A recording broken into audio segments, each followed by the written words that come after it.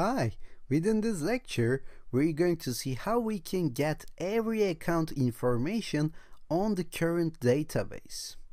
And we're going to do that with using the information that we have gathered from the error message that we got previously.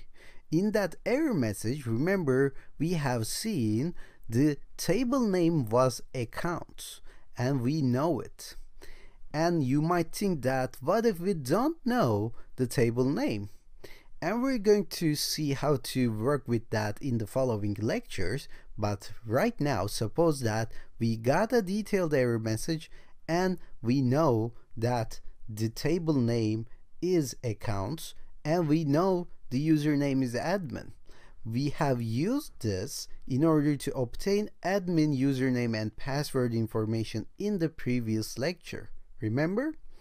Now I'm going to enhance this. I'm going to add some new features to this command and I'm going to use a command called union. Okay, so let me copy this line and paste it in the below because I'm going to change this and I want to keep this as a base. So right now I can do some changes and I'm going to add some more features as I said before. I'm going to say union in capital words in uppercase letters and I'm going to say select everything from accounts because we have learned that the table name was accounts previously. Now this union will run this right side and the left side of this command as well. So I'm going to have a space in here and after that I'm going to say union. And in a URL it doesn't matter if you type it in uppercase or lowercase. So I'm going to just write select everything from accounts and hit enter. And as you can see I managed to retrieve every information on this database.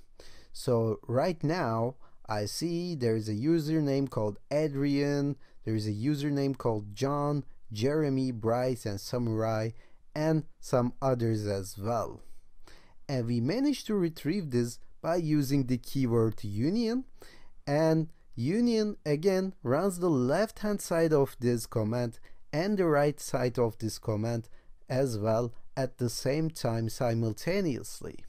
So we managed to run the username is admin thing and the other stuff as well. And I believe we have to learn how to deal with cases that we don't see the account's name, the table name, because in real life you might not get this detailed information as we got previously. And you have to dig deeper and you have to gather more information in order to have a successful SQL injection in that case. So we're going to stop here and within the next lecture we're going to see how to do that.